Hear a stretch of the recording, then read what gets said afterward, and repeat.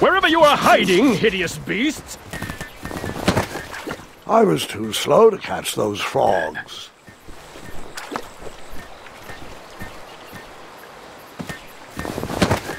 I tried again, but it was no use. Did I ever tell you about the time I tried to catch a frog? It was riveting. Grandpa, After trying for hours to catch those frogs, I was exhausted and thought I was going to croak. not funny. I had to be careful with my cape while sliding around for those frogs. I didn't want to rip it.